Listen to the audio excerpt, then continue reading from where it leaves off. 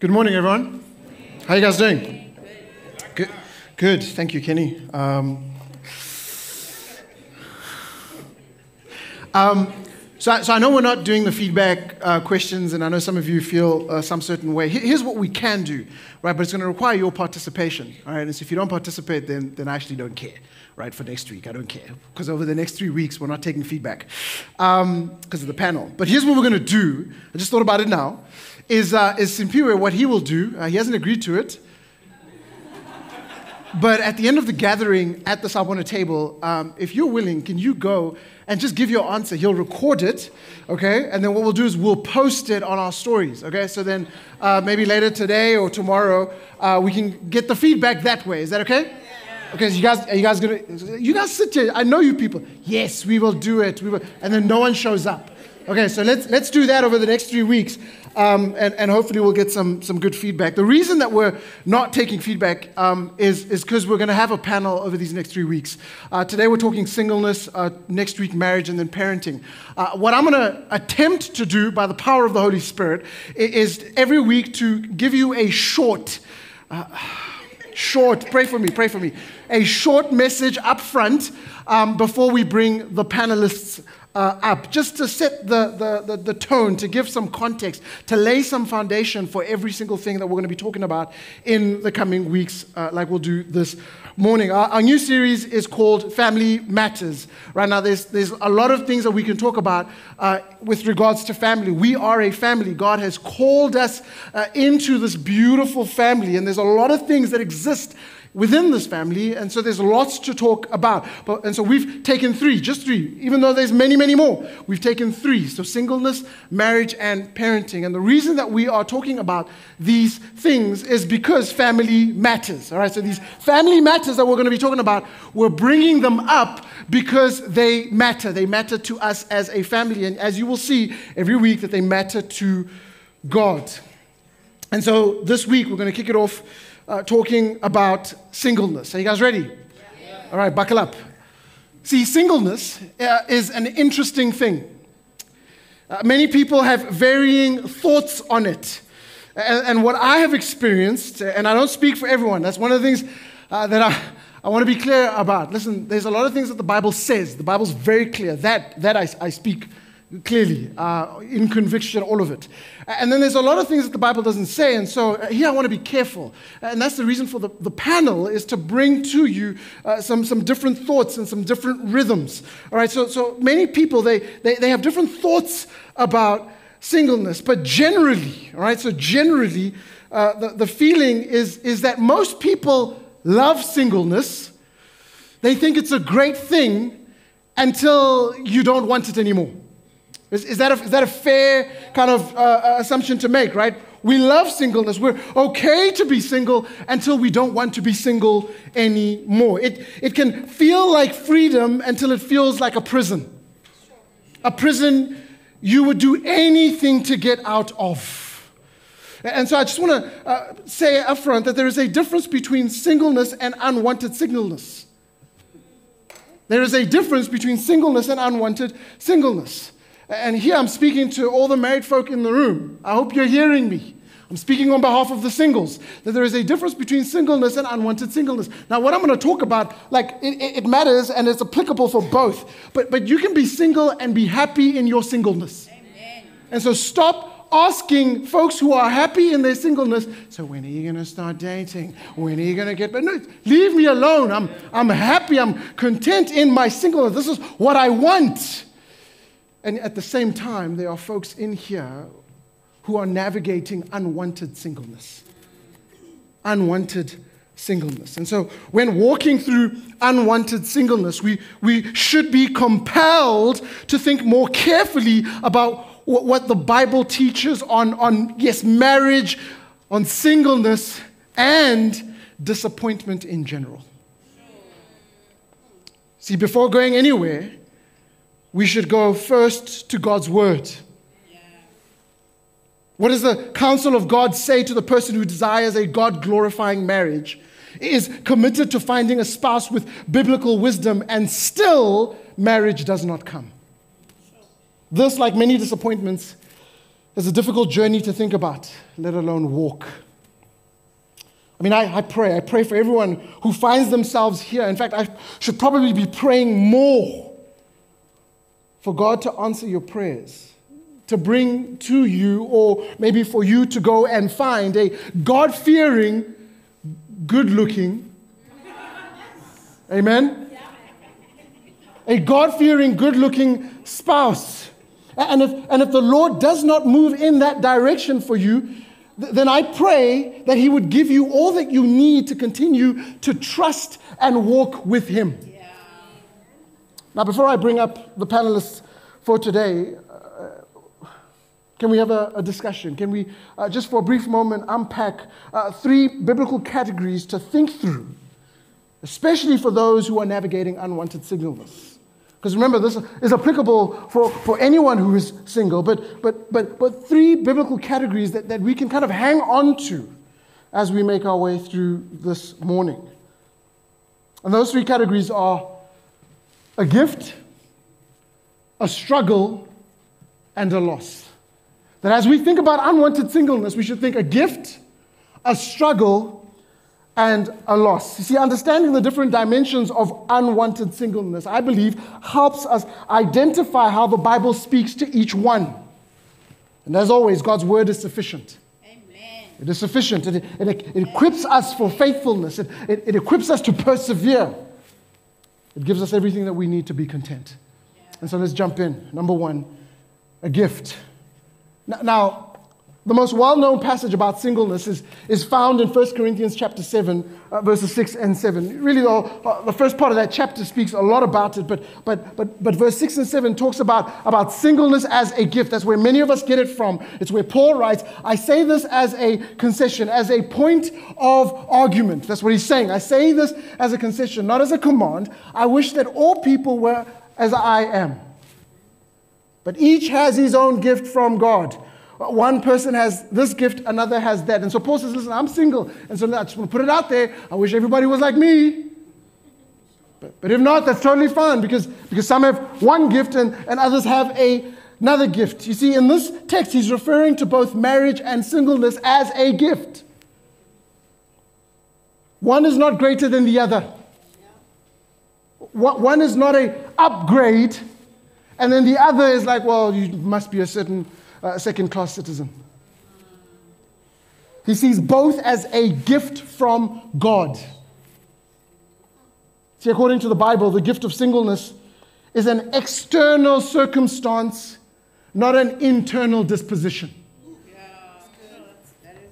The, the word gift is mentioned one time in 1 Corinthians uh, verse seven, uh, chapter 7, and, and it is in the mention to, call, to the call of being single. We see it only once or the state of being married. Paul says uh, people either have the gift of marriage or the gift of singleness. But hear me, both of them are a gift from God. Yeah. So if you are single, you currently possess that gift. Yeah. And if you are married, then you currently possess that gift. Both are gifts even when they, when they don't feel like it. They're gifts. And because they are from God, hear me, they are good gifts. Yeah, amen. See, when a, when a good gift doesn't feel good, it's usually because of one of two things. One, you don't understand the gift. Two, you're using it incorrectly. Make sense? See, later in the, in the chapter, Paul points out some advantages of being single. He goes on uh, to say, the unmarried person is concerned about the things of the Lord, how he may please the Lord, but the married is concerned about the things of the world, how he may please his wife. And his interests are divided. The unmarried woman or virgin is concerned about the things of the Lord so that she may be both but she may be holy both in body and in spirit. But the married woman is concerned about the things of the world, how she may please her husband. My good friend, Sam Allberry, offers some helpful wisdom on this passage in a book that he wrote called The Seven Myths About Singleness. I'd encourage you to get it uh, if you have never read it. He, he says, Paul is not saying that singleness is spiritual and marriage is unspiritual. Nor is he saying that singleness is easy, but marriage is hard. No, the contrast is between complexity and simplicity. Married life is more complicated, singleness is more straightforward. Now, this may be hard to hear, especially in the world we now live in where things are supposed to be fair. Because you hear that and you're like, but that's not fair. I'm single and, and my life is, is complicated, and it probably is. But, but in comparison to the married life, let's just be, let's just be honest. Yeah. Single folks, when you go home after a long day, if you stay alone, then you go home to be alone by yourself in your own thoughts. You can, you can just rest. In fact, you probably don't have to think about what we're going to eat. You just go straight to bed. But for married folks,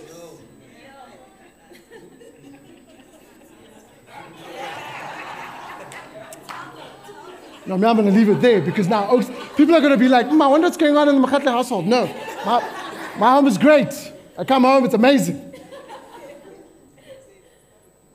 S- singleness and, and, and marriage are different.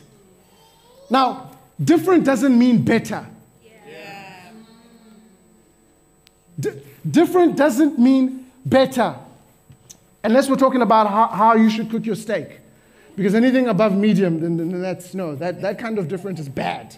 Okay, but, but, but in relation to, to singleness and, and marriage, different doesn't mean better.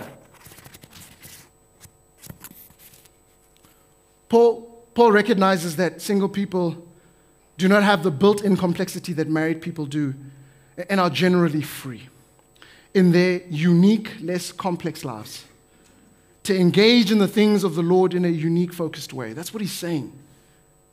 Because there's, there's often so much baggage surrounding the term the gift of singleness.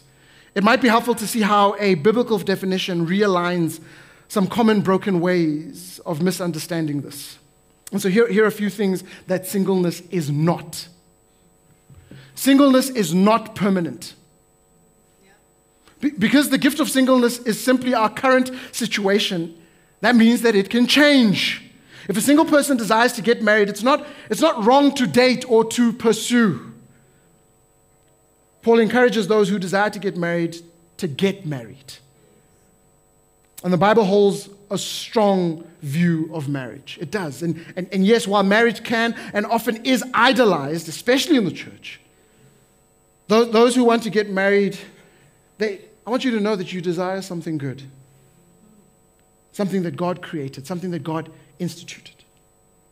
Whether or not a person gets married, this is ultimately in the Lord's hands. You've got to know that. But singleness, just like marriage, is temporary. And so, married folks, I need you to know that your marriage is not, is not eternal. And when you die, or if Jesus comes back, then that's when your marriage comes to an end. Why? And we'll talk about this next week. It's because it's meant to be a picture of something greater.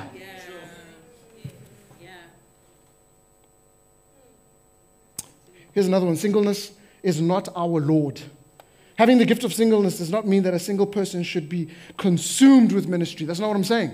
Yeah, your, your life is less complex and, and, and you have more opportunities to do things, but it doesn't mean that the only thing that you should do is ministry.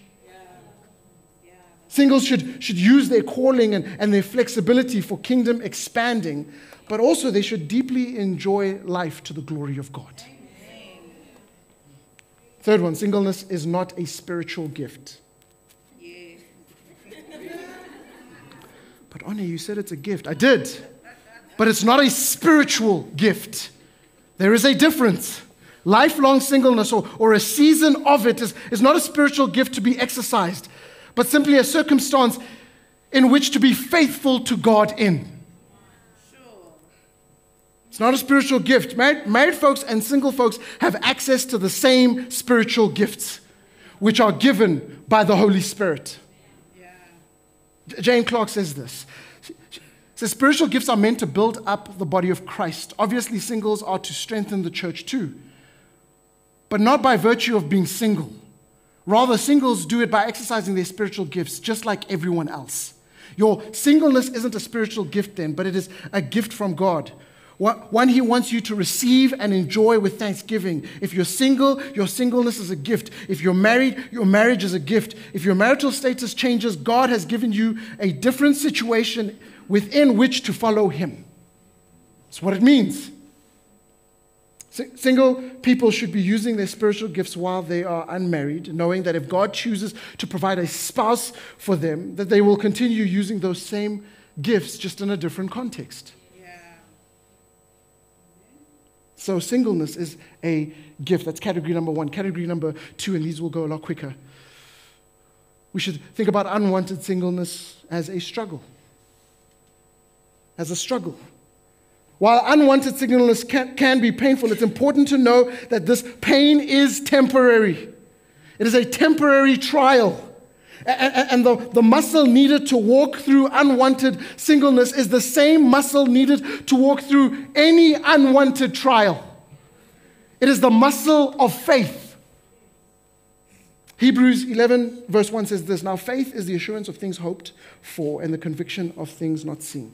See, the, the, the thing hoped for and not seen here is not marriage. Don't, don't use it in that context. The, the verse is talking about all of God's promises to those who believe and trust in Him. God has not promised us marriage. I need you to know that. Or always happy circumstances. Or, or many other things that, that you may, may want. No, that's, that's not what He's promised you. If He gives it to you, then wow, that's amazing. That's just part of His goodness for you. But what He has promised us is, is, is infinitely more glorious. It's the forgiveness of sin. It's fellowship with Him. It's an eternal place in His family, a role to play in the growth of that family, sustaining and comfort in every trial. It's an inheritance in heaven that is unfading and imperishable. It's a, it's a day when tears and sorrow will be gone. And it's the absolute confidence that we will not be disappointed when our lives come to an end. Those are the promises that we hold on to. And so, whatever trial or challenge or struggle we are going through is, it's not essentially about the trial. It's about us and God. It's, it's us asking the question do we trust Him? Do we believe in His word? Are we living for His kingdom or are we living for our own? See, instead of focusing only on Paul's words about singleness, to gather deeper wisdom on the issue, I, I think we must also look at the entire Bible. And it tells us that, that we are called to be faithful, to put one foot in front of the other every day in faith, in obedience to the Good Shepherd. Yeah. Whether you're single or whether you're married, it's about daily walking with Jesus. See, these, these concepts take up they take up much more space in our Bibles than the topic on singleness and marriage. And, and because it is a struggle, and the reason I, I, I want to paint this word struggle and I want to put it in front of you is, is, is we've, we've got to be honest about the struggle. There's too many of us that are like, you know what, unwanted singleness, but I'm not going to talk about it. I'm not going to share it. It's going to eat you up. But like any other struggle, when you share it, when you are vulnerable, when you are transparent, not only does it help you, but it helps those around you. Because all of us struggle. It may not be with singleness, but we struggle with something else. And so, and so when you open up about it and you're like, listen, I'm really struggling with this because I want to keep my eyes on Jesus, will you help me? Other folks will go, oh, wow, we're allowed to share our struggles. We're allowed to be vulnerable. Why? Because, because we're all pointing one another to Jesus. Do you know what is courageous? What is, I think in our time, one of the most courageous things to do is to confess. You have no idea how powerful confession is. To just say, hey, I need help. I'm struggling. I'm wrestling with this. Friends, we can miss out on mutual ministry among believers, opportunities to help others see in, in, in that whatever trial we, we are going through, we can continue to trust God. The married and the unmarried can find common ground through shared transparency and vulnerability. I'm telling you, being married almost 15 years in, it doesn't solve everything. I still need you. Single folks, I, I still, we still need you.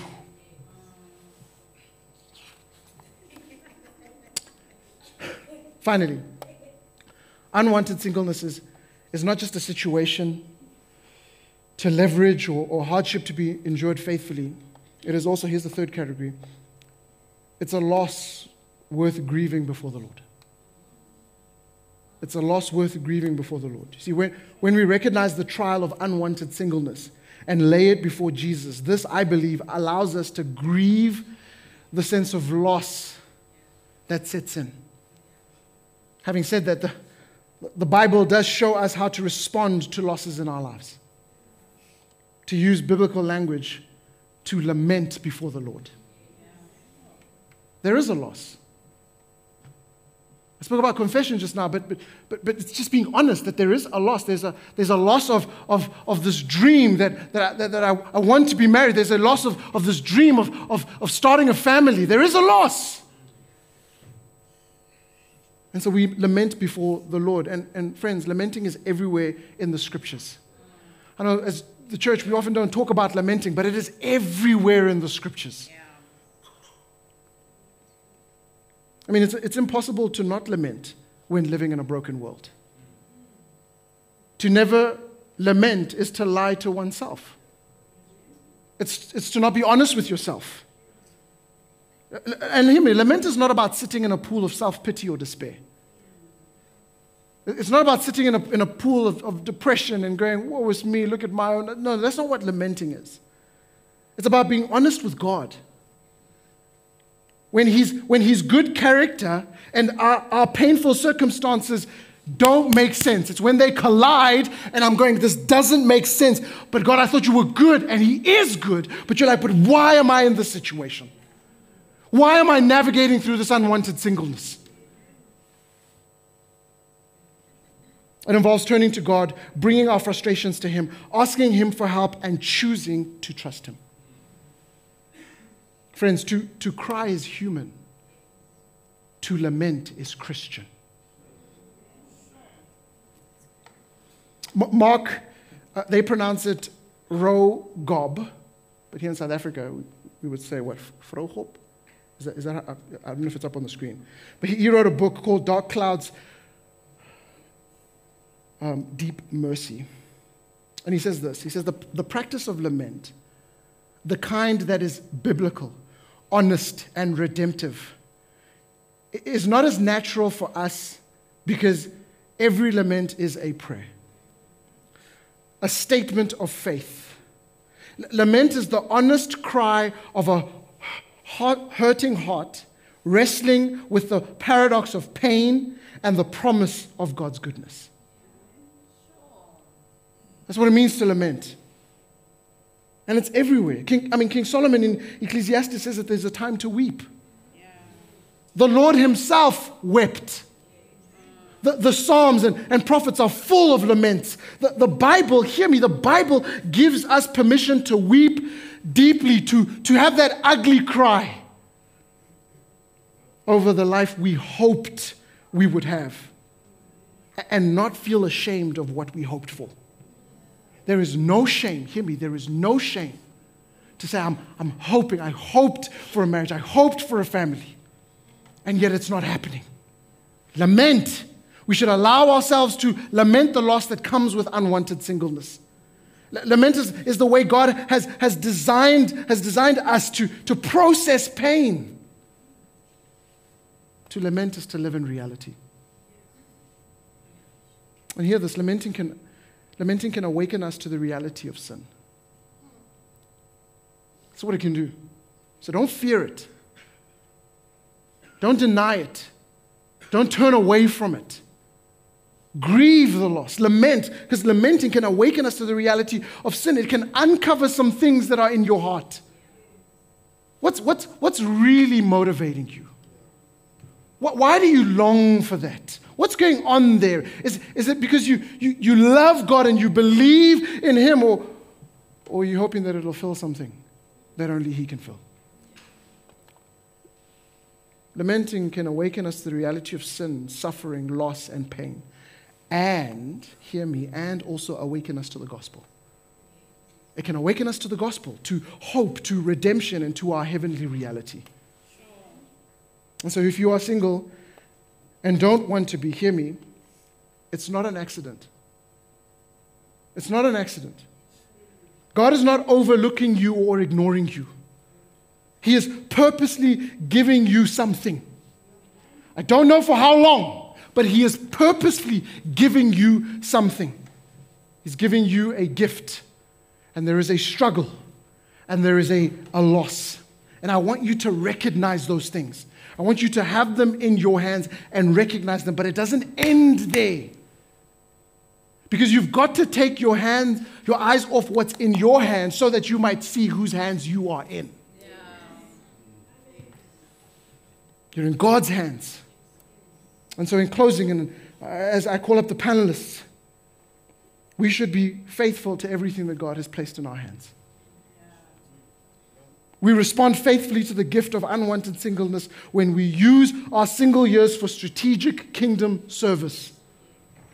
We respond faithfully to the hardship of unwanted singleness when we endure with patience and trustworthiness, opening up to the family of faith who also have trials of various kinds. We respond faithfully to the, to the loss of, of, of unwanted singleness when when we don't ignore it, but rather lament it and allow it to awaken in us the wonder of God. We should, as always, respond to the gospel in utter surrender. And so I'm going to call up the, the, the our three panelists. Uh, please feel free to come up. Elder Kenny, do you mind grabbing those chairs and just putting them up here for our folks? Um, and so what we did is we asked you guys last week to, to uh, send us some questions uh, that we can navigate through. Just, if you put them on the carpet, that'd be great. There we go. And then one on the other side. Thank you. If you can put it on the closer to the carpet. Uh, I'm gonna sit here. You sit here. Is that cool? All right, great. Um, let me grab some mics for you guys. Production, I hope I don't destroy anything, yeah. Grab that. Here we go. Oh, no, this way. So we asked you guys to submit some questions, um, which many of you did uh, through various platforms. Um, whether it's your family group, if you're in one, if you're not in one, I encourage you to get into a family group. It's, it's incredible. Uh, some of you, there we go. Thank you. Uh, some of you uh, submitted questions uh, on, the, uh, on the Instagram story. So, very thankful. And then some of you submitted them last week, Sunday, in the box, which you can do uh, this week for next week's one on marriage. And so, we're just going to kind of walk through some of these. Uh, some of them, uh, you know, they, they came up with the panelists here.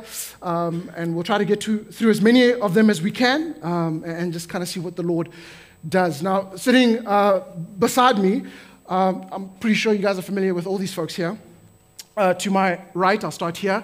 Uh, it's your favorite, uh, my beloved, uh, my wife, Co- Confidence. Um, and uh, she, uh, I mean, she's no real reason to say why she's up here, but I'll do it anyway. Um, she, she has navigated with so many women throughout the years in different stages of their lives.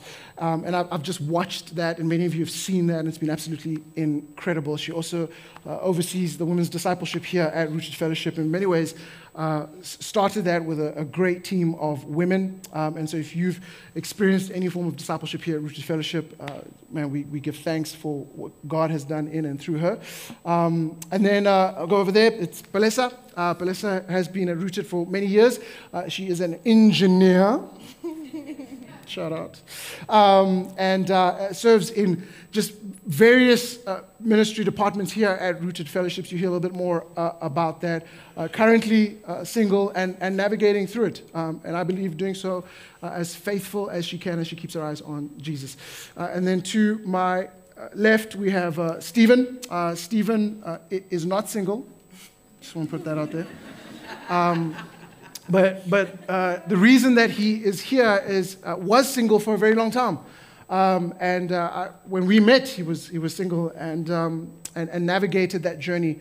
Um, only got married much later in, in life, but I believe as I watched him navigate his singleness, did it in, incredibly, incredibly well um, did all the things that I just mentioned here. Stephen uh, has been at Rooted uh, since the very beginning, uh, serves as an elder, but is currently on sabbatical. He's married to uh, Jessica.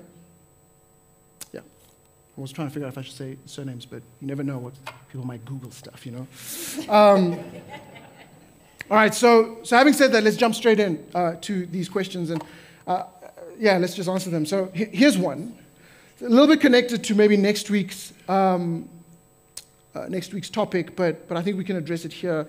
Uh, and it was asked in the context of singleness. But here's the question Is it biblical to believe that God has someone specific for you in terms of marriage, or do we have the liberty to choose uh, within the confines of Christianity? So this person acknowledges that there is a Christian uh, way uh, to, to choose, but the, has God specifically uh, you know, provided someone or has someone in plan, or is there liberty to choose? Any, any thoughts on that one? Go. Stephen, oh. take that one. Shall I, shall I start? Okay, I, I think no. I don't think there's a, the one. Um, yeah, partly because I don't think the Bible says there's, there's a one. Um, and I think we're free to choose. Um, even 1 Corinthians 7 that, that you read. First, sorry, hi everyone. Let me just say hi. But it was very much a yes no question. So, so uh, I got baited into, into that. Um, but uh, yeah, I, I, think, I think it can be a bit unhelpful to think that there's a one. It can, it can sort of feel like you've got to find them, like searching for a needle in a haystack.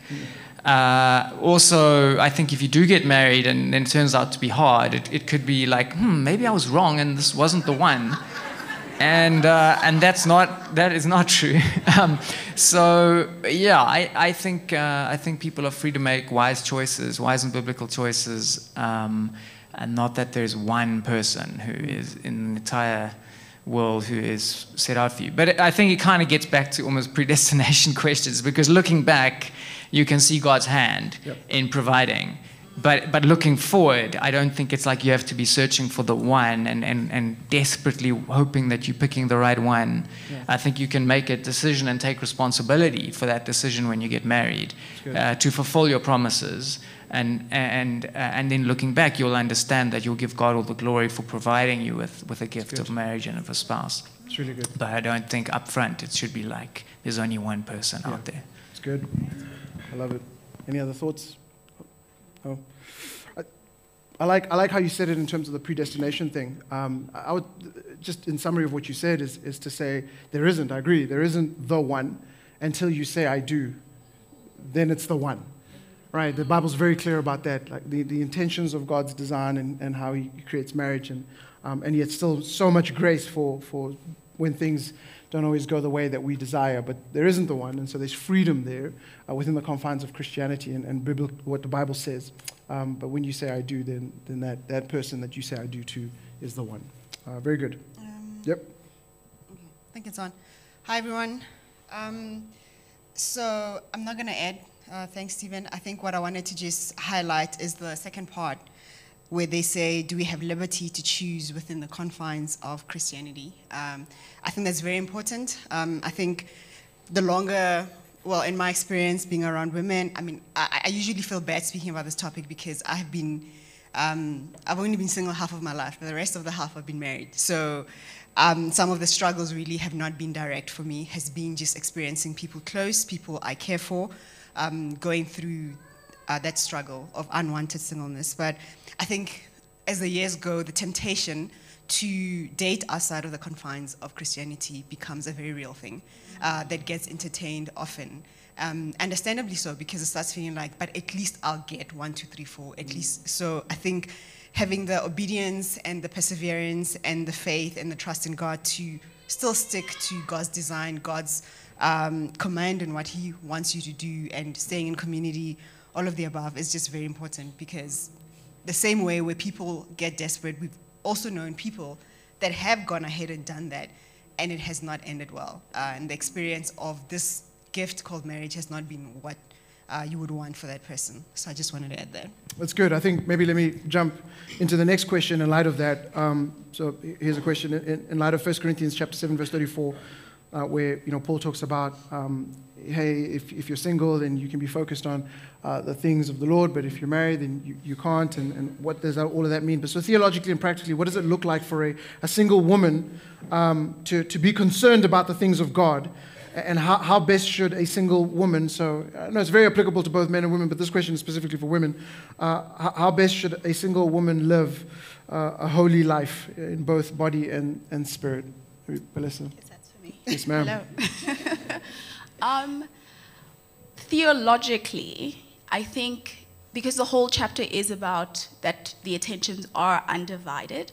So you do have undivided money, undivided time, and so you have more of it because it's undivided. Mm. And I think you have that extra time and extra money, like extra time to spend growing in your faith, which is something we don't talk about, extra time to point into people's lives, and extra money to give, which is a difficult one. Um, and when I was thinking about it practically, I was inclined to think about this doesn't mean this because there's obviously an inclination from married people to try put everything on single people. But I think that also comes from the world's thing of prioritize yourself, which is not a biblical thing. Um, and so I thought to myself, why not? Why not do more? I think our inclination should be to do more rather than less. And hmm. God is so gracious when we do more and try to please Him in that we find satisfaction. Whereas when we try to do the different thing, like to please ourselves, we find ourselves dissatisfied. Sure. So, practically speaking, for me, it's meant like, obviously, sorry to say obviously, it's my favorite word. Um, it's meant serving at church, um, serving in ministries, being willing to step in when people can't do on a particular day. And the time and the money is also not just for church. And obviously, church, but not because maybe you could feel like, oh, I can only minister at church, but you can also be open to finding things like places to serve outside of church. Like for me, a big thing is that people should read the Bible and they should learn how to read the Bible for themselves and they should mm. read through the Bible. And so, like, having studies with women, like my family, we have a Bible study other women to learn how to read the Bible and to read through the Bible and having like Bible reading marathons. That's been a big thing for me. And also, you guys know my many kids. like, I spend Sundays with them and I'm teaching them the catechism because I'm like, I want them to have a framework through which to understand the world in a true way. So, yeah. It's good. It's really, really good. Any other thoughts on that before I move on? That was really, really, really good. And, and, and Palesa, I just want to commend you because I, I and many others uh, have seen that, have seen how you um, make the most of this season uh, that you're in, uh, this gift of singleness, and, and this church benefits tremendously from it.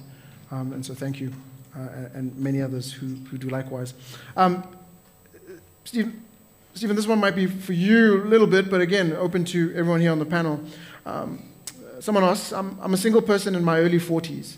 Uh, should the church feel relieved for me because marriage is hard and thus I've dodged a bullet? I'm, just, I'm just reading the question. Um, or, or should the church feel sad for me? Um, have, I, have I missed on God's design and, and gift? I'm assuming here they're talking about marriage. Um, any, yeah, any thoughts on that? Yeah. Um, I think neither. So both marriage and singleness are great gifts. And the, what the world will do is sell us a narrative that there's something wrong with both of them. Mm. It, depending on the situation you're in, the devil might want to tempt you one way or the other.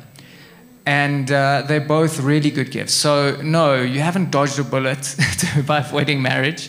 Yes, marriage can be hard at times, but it's a great gift. It's a great gift. Um, uh, but also, we shouldn't feel sorry for you. We shouldn't feel sad. Like, I mean, you did make good points about to some extent there's a loss. There's maybe particular dreams you, you, mm. that you, you realize aren't going to work out the way you had, you had hoped and dreamed. So I acknowledge that. But it's not a second rate situation. Yeah. It's, not a, it's not something that like we should just feel sad and sorry for people who, who are single. Mm. Um, yeah, I think we do, we do need to have a, a, high view of singleness, just as we need to have a high view of marriage. Mm. Um, and, and maybe two caveats uh, before I say too much more that i felt like I needed to say, um, because I do have quite a high view of, of singleness. And, and, and I think that's because I, I was single until I was 38. Um, so if you can do maths, you, you, you, can realize I'm older than 38. Um, but, um, but, but uh, yeah, I, I, so I, I, thought quite long and hard about this, and, and, and, and, and I have a high view of singleness. Uh, but I, so I need to caveat and say I love my wife very much, and I'm happily married. Um, so when I speak positively of singleness, it's in no way to the detriment of the great gift of marriage. Uh, and the other thing to say that I, that I realized with the, the sharpening uh, effect of my, my wife's feedback through chatting to her yesterday, that I also want to acknowledge that my experience of singleness um, may not be the same as everyone else's. That's good. And, uh, and the struggles are slightly different for everyone. Um, and, and people's singleness happens at different times in their lives and for different reasons. And, and I do acknowledge that. And I, and I, and I don't want my uh, calling us to a higher view of singleness to, to be seen as sort of not sympathetic for, for some very real struggles that, that are out there. Mm. Um, and so, yeah, I felt like that, that needs to be said. But the, the, have I forgotten the thrust of the actual question? No, no. Was? What was the question again? Just remind me. Dodge the bullet. Dodge the bullet, yeah. So no, you haven't dodged the bullet. Um, it's a good thing. We need to have we need to have a high high view of it. Um, absolutely. Um, yeah, maybe I'll say I'll say more later. But for now, yeah. definitely definitely neither. Yeah. yeah. Um, I'm actually glad you brought that up, Stephen. Um, I was actually thinking about it as well. That um, I think when you get a question like that um, it always, let me not say it's always, but I think in my experience that of uh, being around other women, at least in their 40s, um, that it just hits uh, differently. Mm. Um, like you are, you know, in your 30s, hope is different versus in your 40s versus in your 50s. So it's, um, you can even hear the tone of the question is uh, like as if this is it. This is my reality forever. Like, mm. Okay, that means now I'm meant for singleness forever, or I'm yeah, like I'm never going to get married. So I think as the years go on, there's a, just a dwindling hope, um, which there shouldn't be, but you know, it's a struggle nonetheless. Mm. What I wanted to ask, though, Stephen, just um, um, if you would like to answer that question, uh, is that um, how? So I, th- I think for a woman, we generally have to wait culturally, not that we have to because the Bible says so, but we wait to be pursued, initiated. Like somebody has to come and ask you to mm. uh, ask you to be to marry you, ask to marry you where the man does the initiation. And so at any point, a man at any age can make the decision to marry a woman. Mm. So it just really puts us, uh, well, puts women and men in different places. Mm. So I want to just ask if you're willing to share, like, what was your reason for staying unmarried till that age? Uh, till, yeah, till that age.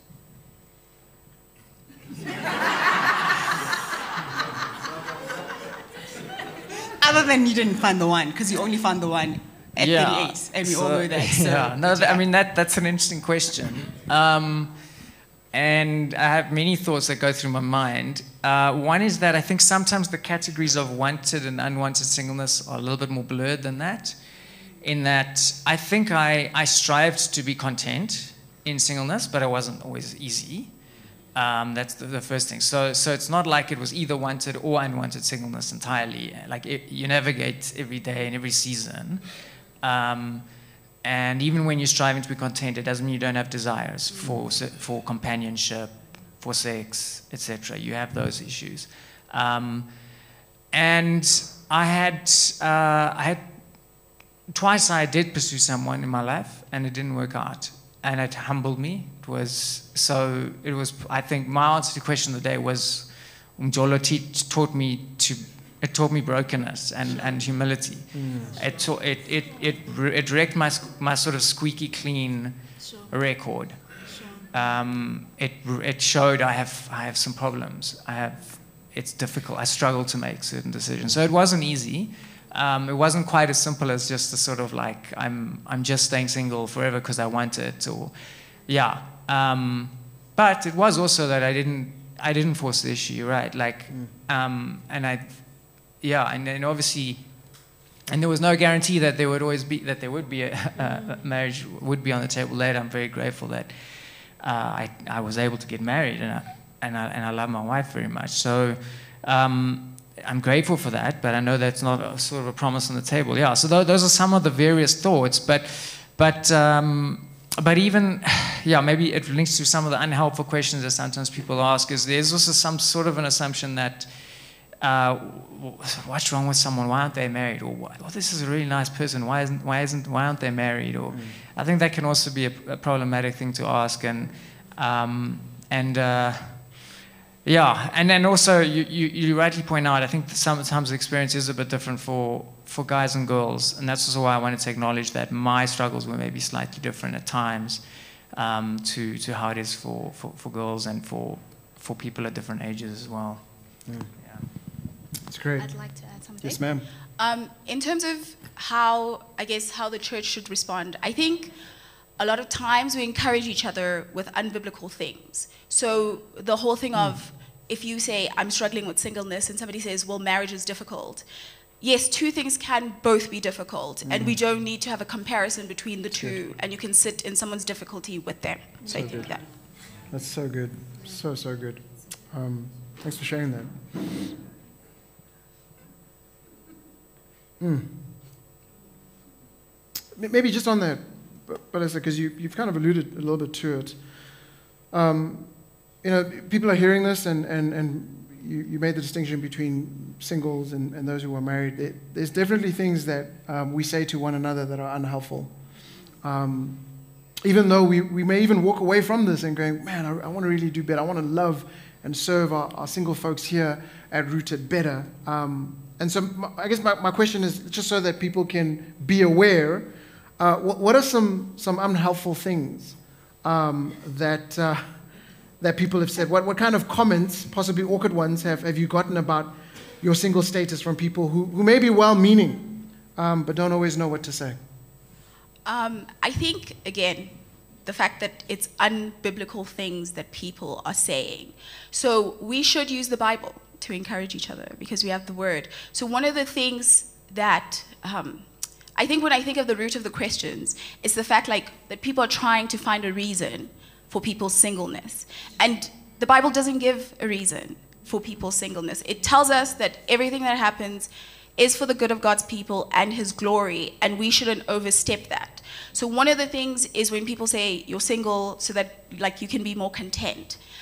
And that's unbiblical because firstly before I go to the biblicalness of it, we know discontented married people yeah. and they are content single people. Yeah, so just even from a survey, it's untrue. But it's also making it seem like the good, God, the good gift that God has given has been earned by the married person, by being content. And God gives gifts as He sees fit, and He allots them, and we don't have to be looking into that. So I think that's the first one. And another one, just to say that I'm also not saying that people, we shouldn't be looking to get wisdom from other people. But another one is that I've heard is you're too picky which hmm. the only way to see if somebody's picky, because I'm just to say, like when you ask somebody what they would like, right? You are asking for their best, right? Like what are they looking for? So obviously that person is going to give you what they are looking for, and we ask God for that. But I think that's different to if I said I want A, B, C, D, E, and I'm unwilling to compromise on things that are compromisable. So the only way you can see if somebody's picky is if they've gotten options and they've kept on saying no to good, valid options. Mm. So. Sure. Okay. For preach. Um, um, yeah. Uh, do you have one? No, no, go for Awkward it. things. Um, I mean, I like I said, I oh, I don't know if I said that, but I really love women, and I love the fact that God has made us women, and um, the, the, role that we play, who we are, just just God's design. The very same way that I love men, but it's very different. But um, um, uh, very different. Um, but what I wanted to say is, obviously, I'm around women, and I love to hear what they think. And I think one of the awkward things that I've heard, and I mean, maybe I could have also entertained it, um, is this whole thing of like, yeah, but if this girl maybe I don't know, like did one, dressed a little bit better, or maybe lost a bit of weight, or did I feel like those things are so unfair. Mm. Like, and I think they are usually pointed at women generally. It's like they need to do something about their appearance, and apparently they're gonna do those things and suddenly get a husband. I, I don't know. Like, I don't know if those things are correlated. I mean, so obviously, I'm not saying we shouldn't take care of ourselves. I think that is a general command to all of us. Men women married unmarried you need to take care of yourself you know like so that's not a taking away that part. But this thing where there's a laser like if they did one two three four that would maybe somehow land that person a spouse i think that is a very unfair thing to say. And i think i heard i'm not going to say her name because i think a lot of people know her but um, uh, she's a celebrity. And she said um, you know we talk about those things yet God, you could be showing up in the morning looking as scruffy as I don't know what, and then God can still give you a husband. Like it's not really about all those things, because as we're saying, it is a gift. So it's actually not really up to you. But I'm not saying not make an effort, go on dates, whatever. But I'm trying to say is that I think the pressure that we can often put on people to look a certain way and do certain things with the hope that after they've done all those things, they're gonna have a partner is not helpful. Yeah. Um, yeah. Yeah.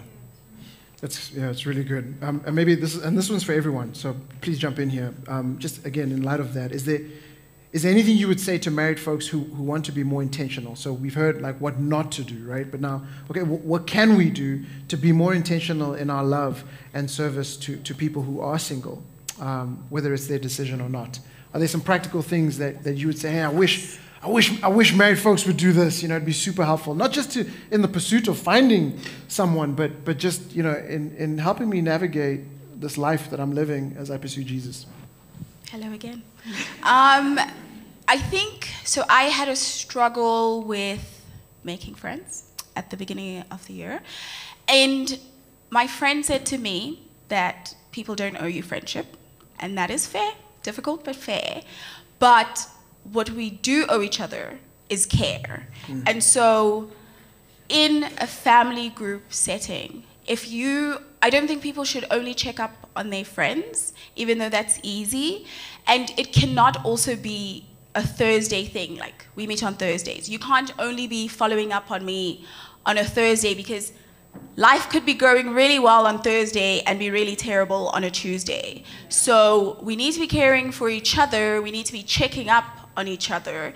And I think another thing is we are told to rejoice with each other and to also mourn with those who mourn. And I think we need to learn to sit in difficulty with each other. Like I mentioned a bit about it, but like when somebody is lonely, sit and don't try to solve it. Like we need to learn to sit there. But that's also not to say everyone experiences loneliness. So I'm also not saying that. Um, and yeah, that's part of caring for each other. Any other thoughts? Maybe, Stephen, what was helpful um, in those years where you were single and, um, and, and married folks did, or you wish that married folks did? Yeah, I enjoyed um, some of my married friends. I enjoyed hanging out with them. Um, I think married folk can hang out with single folk without any f- weird worries about is there is it a third wheel.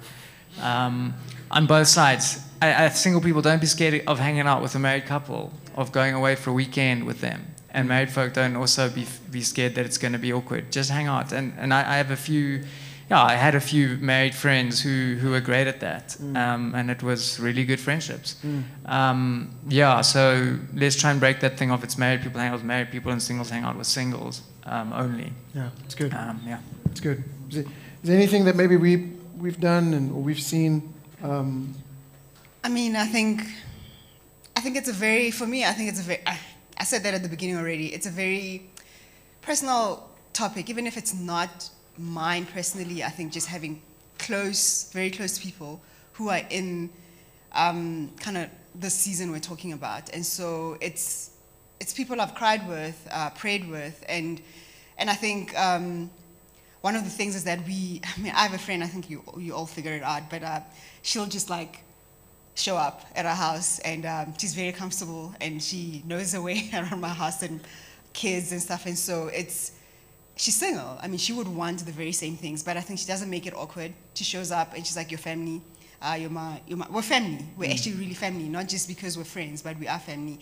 And so obviously this is not a now every you know, like any random single person comes to your house and they're like, we're family, you know. Obviously, it's not that kind of thing. You build relationship and you are, um, and I think with family group, the fact that you're seeing people every single week, like there should be some relationship there that allows some proximity. And, um, and I was even, I mean, we could be discussing this next week already, but I think uh, one of the things I was saying, I was like, the same way we should be opening up it's the, Mm. it's, it's the same way around. Like I think you should be offering as well. You know, uh, I think it's going to come up with parenting. It's like uh, married people are also like, "You- you're going to give me an hour, two hours. We can quickly go have a date or have coffee, and you can be with my kids. That way, you're around our kids and you're part of the family. The same way, um, meals and all those things shouldn't be just for married people. It's like or parents. It's like, it's like if a single person is not well, we should also be doing a roster for the single person to get meals. Like, um, I think that is a way of, um, I don't know, helping one another, like serving one another. So, Yeah, yeah, I like that. Be, being around one another is, is, is massive. I, look, I learned a lot about marriage and parenting from books and, and talks and, and all sorts of things, podcasts, all of that.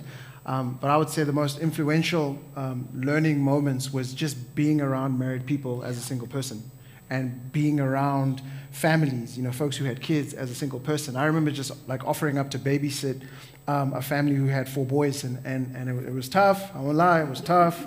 Um, but it was really, really good. Like I got to see how they interact with one another as, as married folks and how they interact with their kids. And there's a lot of that stuff that I was like, ooh, that was good, that was good. And then there's a lot of stuff that's like, mm, not helpful. Not going to take that one. I'm going to leave that one alone. Um, so, so there is freedom to do that, but, but it's being in one another's spaces. And when you are in one another's spaces, to not always bring up their singleness to not always bring up dating, to not have you noticed there's a no, just like hey, what are your dreams? What are you like? well, How's work and what's going on here? Who's your one more? Like asking questions that you would normally ask married folks, I think is, is helpful. Um, so that's that's really cool. Um, let me ask this one. This is a, uh, it's a good one. Um, what is the Bible's uh, position, or and, and our church's position uh, on singleness and adoption? All right. So basically, if I'm single and, and I want to adopt, what's, what's our position on that? What does the Bible say? And then here's the second part and, and pursuing having children via other means, so other than adoption, uh, means like artificial uh, insemination. Um, and so, just real quick, if you I'm not a, a, doctor by any means, but artificial insemination is where uh, they take a male sperm and directly insert it into the female cervix or uterus um, in the hopes of increasing uh, the chances of pregnancy. Okay, so, but now I'm not speaking as married folks, it's married people that, that try to do that to try to increase the chances of pregnancy. But this question is about uh, single people. Like if I'm single and I want to do this, is what's the Bible's position? Um, and then, but the first one is, is uh, kind of what is, what is the position on adoption? Um, let, let me go ahead and, and, and give some positions uh, and then we can dialogue a little bit. So, uh, with regards to adoption, um, uh, I like to think of it this way um, God has a, a, a design. Um, he, he, he lays it out in, in Genesis of here's, here's how I, I am looking to have families multiply and grow and, and, and fill the earth, right? He's very clear about it. We also see in Genesis 3 that sin steps in uh, onto the scene and it, it breaks that design, right? So, what was God's design? One man, one woman uh, in covenant with one another and then be fruitful. But then we, we do realize that, that brokenness hits the scene and, and, and it changes things. And so, what does that mean for us today? Well, it means that as Christians and as the church, we are always moving towards God's design, not away from it. Even in trying to solve some of the issues that we face here today, we're always moving towards God's design and not from it. And so, uh, with regards to adoption, what has happened in adoption is a child is already born. Like there's, a child exists. There, there's someone in front of us who is made in the image of God, uh, but does not have a home. And so, as we move towards God's design, because God's design is to have a home, is to have a family, is to be brought up in the context of a family. And so, our position as we look in the scriptures, also because if you think about what they call the quartet of the vulnerable, right, the four groups of the vulnerable in the Old Testament, those four are the poor, uh, the foreigner, the widow, and the orphan. All right, and so God's command is for us as the people of God to move towards a redemptive family, and so we care for the orphan. And so, because of that, we then say, yeah, well, if you're a single uh, person, then, then as you move towards that, you can adopt. If there's someone in front of you made in the image of God who is in need of a home, uh, then our, our job is to engage Now, I also want to say that because you're single, it does make it challenging, like it would for any single parent. I grew up uh, the majority of my life in a single home, single parent. My father passed away, and, and it was difficult. It was difficult for my mom. My mom would say it. Um, and that's why, again, it's the, the, the, importance of us as a community. So, even, so it's difficult for, for married folks to adopt, and there's some who've done that, and, and they share it. But they're so thankful for the community. There's single people in here who've also adopted. And praise God for you. And they've also leaned into community because it is difficult. And so, again, I want to stress the importance of doing this, this adoption, in the context, married or single, in the context of community. Now, artificial insemination, I believe that that is moving away from God's design. Remember, one man, one woman. So, in this scenario, there is no man, or the man is a stranger. I have not entered into a covenant with him. And so I'm moving away from that design in trying to create this family. Whenever we do that, not just about this, but in anything in life, when we try to move away from God's design, hoping to solve some of the issues of the world, things don't end well for us. Actually, what happens is things become stranger. And so I believe the Bible's position and our position at Rooted is that that is a, a no. Um, that, that, that the Bible does not give license and freedom to do so. Okay, so I just wanted to, to put that up front. But, but Stephen and I were chatting a little bit about this yesterday, just briefly. And you actually, you, you introduced a question before that, which I thought was super helpful. So, so it's like I'm asking this question about adoption, about all these things, and you were like, man, yeah, yeah, there's yes adoption, no artificial insemination. But you were like, but I think it's important that you ask a question before that about the heart and why, the why you'd want to. Do you want to, do you want to flesh that out a little bit? Mm, okay. Um, I can't remember exactly the discussion, but I think it may have been what was a, sort of asking: Are you wanting to force something? Are you wanting something too much, perhaps? Yes. yes. And, and that, that's yeah. So yeah, because I think this this is at the heart of this whole discussion about singleness, marriage, and then even wanting to have kids is, is a very difficult discussion about like wanting something, making something good into an ultimate thing that mm. I that I really need to have. Mm. And and so uh, for me personally, um, when I was single and if I were single, I think where I would land is I would sort of say I can use my, my gift of singleness in, dif- in different ways mm. than, than to adopt. But um, I agree with you. It, it's not. It, it, someone else might feel like no, I can use the, mm. the, the, gifts and the, the time and the finances and, mm. and, whatever I have. I can I can serve the community and, and a child in that way. So I agree. It's, it's totally a, a, a, good option potentially. Mm. But but I, I, think I think singleness and this whole discussion forces us to ask like to keep wrestling with our hearts and being like, do we want something too much? Mm. Are we are we overly desiring mm. something? And and how do we learn to be content and embrace the situation we're in? Because I think 1 Corinthians 7, which you read some extracts from, the big point there is about embracing the situation you're in mm. and not wanting to change it. Yeah. Um, and uh, like Paul does give license to, to change. It's like you can change your status if, yeah. if that's what you choose. But it's almost like his encouragement is to embrace the situation you're in. Yeah. If you're married, stay married, embrace it. If you're single, it's, it's good to it's good to remain single. Yeah. That's yeah. what he that's what he says. Yeah. So so yeah, I, I sort of feel like it, it raises those sorts of questions about do you want yeah. something too much perhaps. It's good. That's really good. Yeah, I think it's it's it's recognizing that uh, we all have desires and wants, uh, and and many of those are good, um, but when you want them over the Lord, then there's an issue. Um, when you're essentially asking for someone to fill a hole that only God can fill. And what ends up happening is you're going to crush that other person, whether it's a spouse, whether it's a child, whether it's a friend, whether it's an employee, whatever it is, you're going to crush them because they cannot carry the weight that only God can carry. And so I think it's just a, a good evaluation question. The Bible says, examine your heart. Uh, and ask the question, what, what, is, what, is, what is the motivation for this? Um, is it because I, I, feel like it will fulfill me, that it will, uh, I'll find my identity in it? No, I can only be fulfilled by God and find my identity in Him. Um, and so those are just helpful questions. Again, to ask them in the context of community, yeah. To be vulnerable and transparent in community, to say, hey, I just want to talk about something. I have this massive desire. It's so consuming. I really, really want it, but I don't know. Can, can you help me process this? God will do some amazing things through that. And what He will bring to the surface, I'm telling you, it'll be absolutely amazing. Um, cool. Which, a few more questions. Um, what, what, can, what can the church do to cultivate a, a, a kind of culture where singleness is affirmed and not immediately viewed as negative? Um, and I ask this because uh, the world has idolized sex, right? And, and to a large extent, the church has jumped on that train as well. Um, and we talk about it in this way that we like, hey, you know, intimacy, God's all for intimacy. And, uh, and the best way to experience intimacy is in marriage when you're having sex. That's, you know, that, and it, it kind of leaves this, uh, this thought of, well, that's the only way that real deep intimacy can be experienced. And so that, does that mean as a single person that I, I can never, like, there's an intimacy that you have, a deeper place that you go with God that I can never go to because I, I'm not married. Um, so maybe just, just some thoughts around that. Like, is, is there anything that we as the church can do? Because that's not true. Um, maybe let me say this. Yeah. It's not true. And the reason it's not true is because the Bible says it's not true. Okay? So, so um, this, this idea of, of, of, intimacy can also be experienced in friendships, in godly, gospel saturated friendships.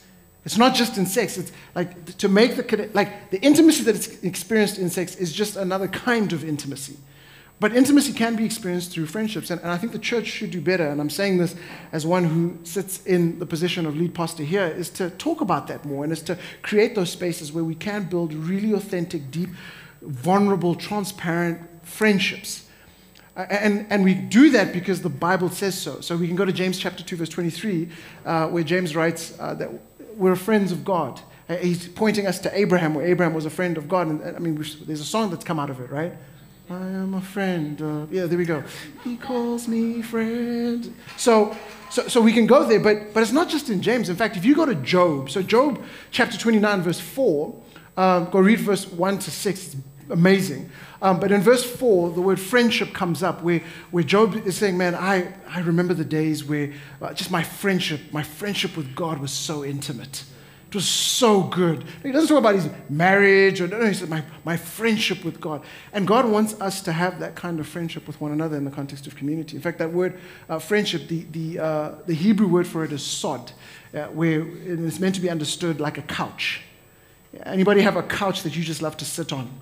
Where you, you're just so comfortable. It's almost like you sink into it and you feel so, feel so good and you feel so safe and you can rest in it. I mean, that, that's the level of intimacy that we should be able to have with one another and we should build. Um, so I'm just thinking through what, what are some of the ways in terms of, like, as we talk about intimacy and, and, and, and trying to move away from this thing of that can only be experienced in, in the context of marriage because you're having sex, then that means I'm left out. Uh, and so there's this negative view of it. Any thoughts around that? What can the church do? I feel like you didn't prepare us for this question. but it's, it's um, no, no, no, but I mean, I think the, the root of thinking about it from a perspective of intimacy, and um, I think I'd, i just want to backtrack a bit with mm. that uh, subject because I can only imagine, right? Because obviously I'm not in the situation. Maybe you can add and see if I'm telling the truth or lying. But um, sitting in sitting there and hearing you know, you can no, but you can you can experience deep deep intimacy, and it does mm. not include, you know, sexual intimacy. And if you you long for it and you want that, or you know, you've heard or you've read. I mean, culture outside does not stop telling us about the amazing ways uh, and experiences of uh, sexual intimacy, and it's like the curiosity and mm. no, but I want that. So you can tell me about all other sorts of deep intimacy mm. and all of those things, but I want to experience this particular one. It can, yeah, it can sound, I don't know, like it's a, it then brings up the, what, what um, Stephen was saying, like it's like the discontentment of like, yeah, you kind of like making me want to settle for, for less. Mm. And um, which obviously we know is not true. Your head tells you the right thing. And, uh, and you, your heart starts desiring other things because of what you're exposed to and what you're hearing. And so, in a way, the church should not only, it's not like a thing that we bring up once and talk about, like, you know, that you can experience intimacy beyond mm. sexual intimacy. And I think, well, we're going to talk about it in marriage, but it's like, I think there's people that can vouch, not just vouch, I think we can hear from the world, we can hear from our own, even relationships in marriage, that yes, that is a cherry on top, something that you experience and enjoy it, but ultimately that is not the thing mm. that keeps any relationship and any deep intimacy going on. Like, mm. it's not the thing that really holds it together, like, uh, um, um, like we can make it out to be, you know. So it, yes, yes, of course, sex is supposed to be marriage, and I'm not saying I'm not downplaying it, but I'm saying it does not offer the thing that you might be sitting there as a single person thinking, but no, you are you're selling me something short. There's something you're having and I'm not having, and I also want it. Um, so I just wanted to, yeah, just sympath- empathize with that and uh, and say that is a legit thing to long for and wonder and ask and be like, but I want this thing. Yeah. Um, at the same time, also in the same angle, I just wanted to say, I think even when we talk of people who say they, not everyone, I'm not speaking for everyone, but this concept of I'm content in my singleness, that's a good thing. As long as it's not mirrored to when the world, and when I say the world, I'm talking about people who do not know God, who are not believers, when they say, I'm content in my singleness, it's very different things. Because in their singleness, they might still very much be having sex and doing actually they, they'll do all the things that people in marriage will do. They'll have you know yeah they'll do all those things. But you you you're not going to do that as a mm-hmm. believer because mm-hmm. you are under a different law a different obedience. And so we can't mirror our hashtag i'm content the same as the world. Mm. Your singleness is very different from the singleness of the world. That's so good. That's so good. Speaking on contentment, um, I it's something that I've struggled with, and I think the struggle of being content about a thing is because it is the ultimate thing, and the way and the way Scripture encourages us, because we will always have unfulfilled desires our whole lives, even after we get married or whatever. Um, is that you already have the treasure. Like you have the ultimate treasure already. So I think, again, don't encourage people with lies. Like go to scripture. And- yeah. That's a hashtag. Um, okay.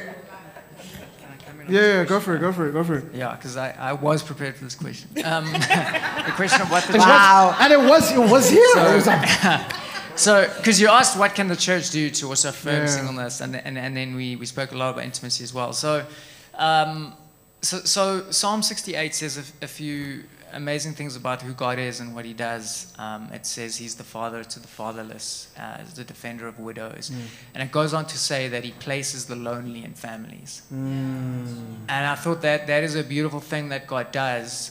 I think ultimately it'll have fulfillment in the new creation when we will all be part of uh, God's true family and experience full, deep intimacy.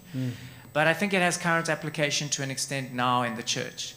Um, and if you look at the way the New Testament calls us to treat each other, it's as fathers and sisters and mothers and brothers and, and as, as true family. Um, so I think that, that firstly, uh, that the church does have, there are implications for this, for how we, how we love each other and how we, we need to be true family because many people are single. Mm. And also, in many situations, we will counsel people to remain single mm. in some situations. And we can only do that if we if we truly believe it's a viable, good way of life. Mm. We can't say to someone, "I think in your situation, given what you're thinking, what you're desiring, what you're wanting, I think you should maybe remain single." For now, for a long time, or maybe I don't think we can say that to people if we don't actually truly believe and model that singleness is a great way of living. so good. We can't do that because otherwise we're buying into the narrative that sex and romantic love is an ultimate thing. Mm. That unless you have it, you haven't truly lived. So good.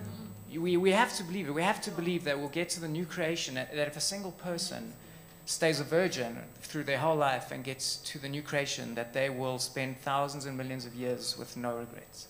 Never, and it's not because God will kind of somehow miraculously erase their memory and, and kind of like trick them into thinking they never missed out on something great. They will truly know and believe that they didn't miss out on something that they really had to experience in this world. And, and so, so much comes down to this thing of do we, do we, how do we rightly value God's gifts? Because because because we have to value, like, sex is a good gift, and marriage is a great gift, but we mustn't make it this ultimate thing that if you don't have it, uh, you've missed out, it's second rate.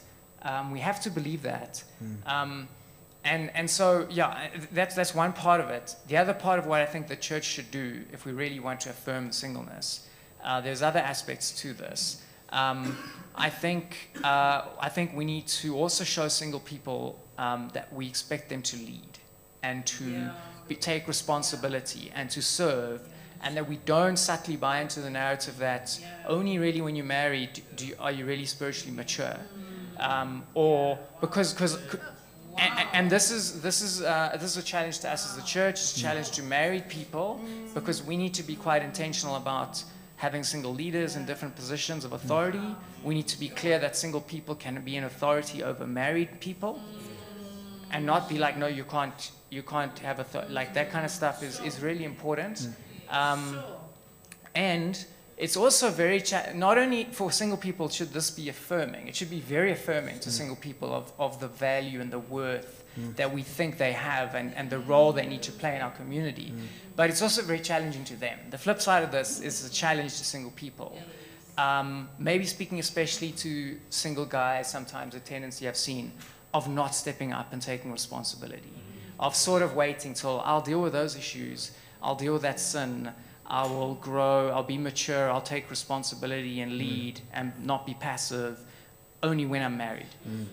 Like Paul, good- like Paul word. and Timothy, think of Paul, like Paul is speaking, Paul is a single uh, leader in the church, speaking to Timothy as a younger single, I think single, we're not 100% sure, but I think uh, he seemed to be single uh, person leading in the church. Um, and he says to he says to Timothy, don't look anyone, don't let anyone look down on you because of your age. And I almost want to add as well to single people, don't let anyone look down on you because of your singleness. It's you're not less than, you're not less spiritually mature. Um, you can lead, and and so yeah, it's both to the church. Like let's let's let single people lead, single men and single women, and single people aspire to lead, aspire to to take responsibility, to serve, to use your gifts um, and to not wait for one fine day when maybe one day you're married, you can you can do the real things and you can live to the full. That's a Thank good you. word. Very good. Very good. Well, friends, man, we are we are we are we are we're pressed for time. So um, what I what I want to do is maybe give, uh, if you want to, you don't have to, but maybe uh, folks here one last word, um, just on this. Uh, anything that um, that would come. I did have a question here, so if you want to weave it in there, and you kind of alluded a little bit to it, is uh, I guess the big one. We're not talking about dating, um, but if you're single, that is something that you can do, because if you're married, you cannot date. if that's if that's new to you, then then and we have bigger problems than you think. Um, but, but as a single person, you can date. And so, and so should I date and, um, and, and how should I date? Um, so uh, it was the last one on there, but you can throw it in as your last comment or you can say something else. Um, but I'm going to close this out um, and the, the band will, will lead us. So any, again, you don't have to. You can be like, nah, I'm good. I got it all out. Um, I want to go back to the idolatry Yeah. situation and just explain how I've spoken to other people about this, how unhelpful like idolizing marriage is, and to say, like, I think it drives. We spoke about how marrying non-Christians becomes such a viable option, and I think the idolatry of marriage is what helps drive that. And of course, we are all accountable before God for mm. ourselves. But if you are making it like it is the ultimate thing for spirituality, then you aren't helping people who are trying to remain faithful to God. That's good. That's a good word. Last words. Oh, you want to go?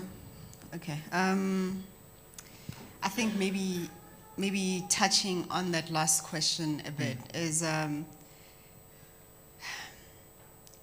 I think we need to let uh, church space, uh, church uh, community, like be a safe space for people to be able to date. Um, I think if we see two people that we know having coffee, two single people that we know, can we not make a fuss over it? Can we not make them uncomfortable?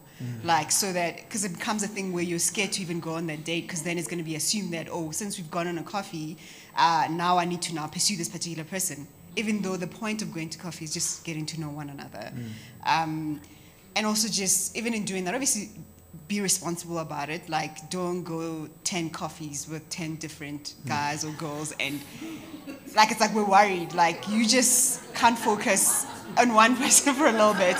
Um, this is where obviously community plays in. Like you have brothers, you have sisters in the church. Like, hey, I want to take this person on a coffee.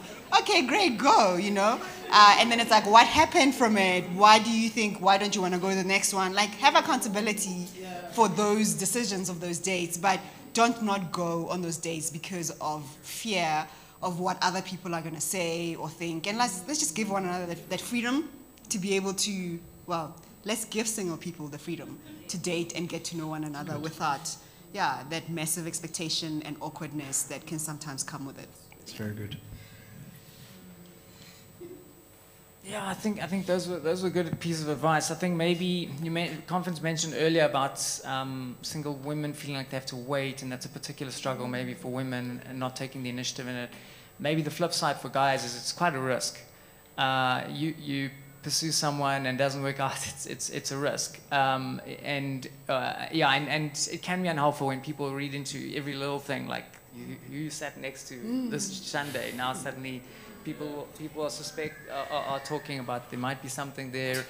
But again maybe the flip side of not always kind of always trying to set people up because that can be uh, unhelpful when, when you're sort of constantly trying to set people up and make them feel like you should be moving towards this this destination sometimes people also do need a bit of a prompt and do appreciate the conversation so I know that there were times where I would have like kind of I wasn't overly sensitive about being asked about singleness or thinking like that. Like sometimes we're not too sensitive. Like don't be too scared to to, to touch us and ask us how we're doing in that area. I'm going to say that us my old as when I was as a single, speaking on behalf, speaking on behalf of, of singles. But you get what I'm saying? Like I think you need to read the room because it's we shouldn't be scared of having conversations. No, we shouldn't be like now we can't ever ask a single person how they're Yeah. doing, whatever we do need to have that conversation just with a bit of tact, a bit of love, a bit of not wanting to push them into marriage and make them feel like they should get married, but also if they are wanting to, if they are desiring marriage, to help them think through how, how to act, how, what can they do. It's good. Um, yeah. That's really good.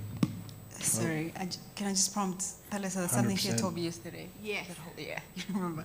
Oh, I, The whole everything.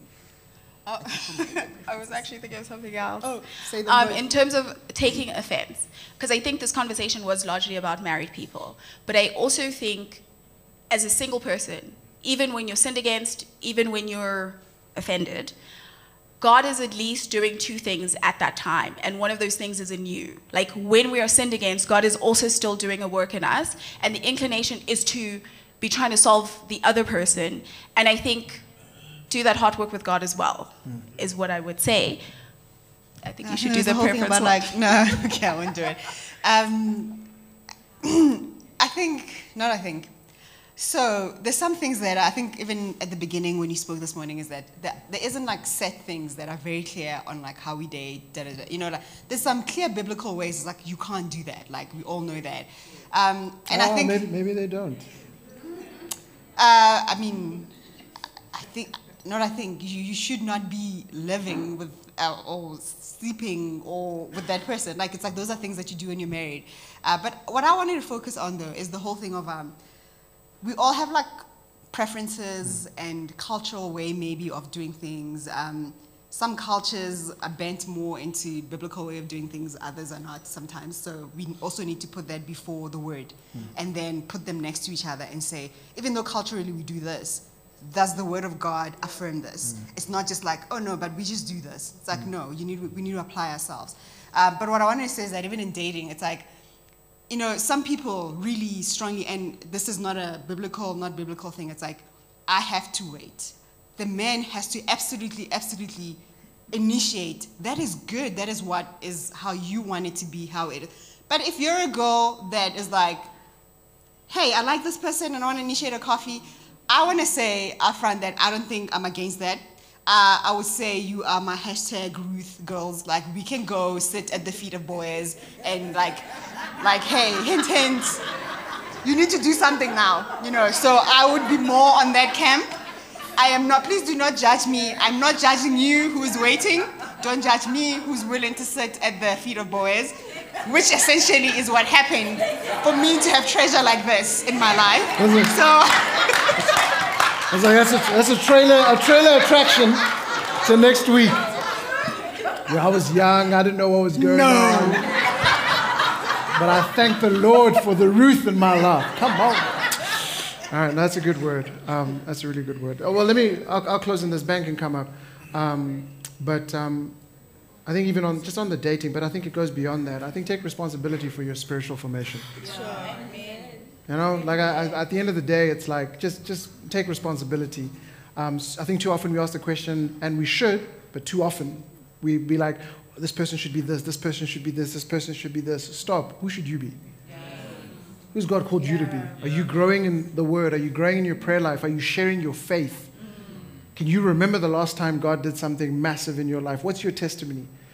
Not 20 years ago. That's a powerful testimony of how you came to faith, but what's your testimony of yesterday or last week?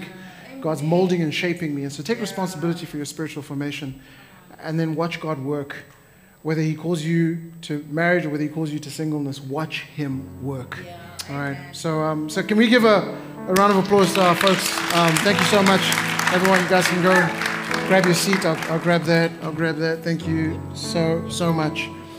Um, That's cool, don't stress. Um, look, how do, we, how do we respond to all of this? Well, we respond the same way we always respond every single Sunday. Um, we respond to the goodness of God. Uh, we respond to His faithfulness. We respond to His mercy and His grace. Um, uh, folks in here, you're walking through different journeys, you're at different places in your life. Um, there's so much difference in here, but God remains the same.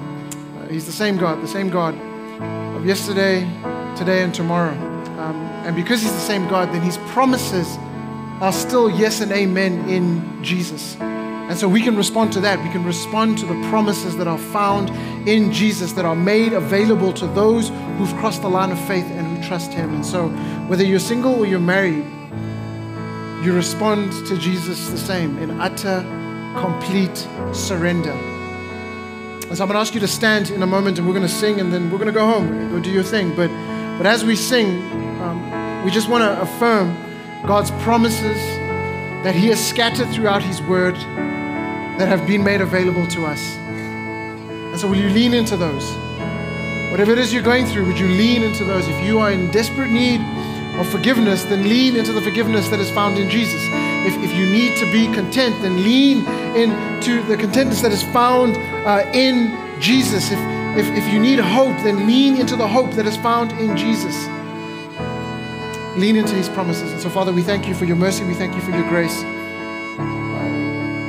Help us as we sing these words. May we sing them because we know that they are true.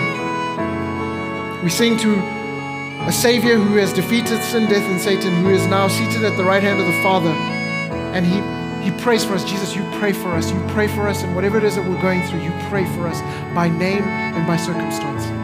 And so help us to lean in, into that. In Jesus' beautiful name we pray. Amen.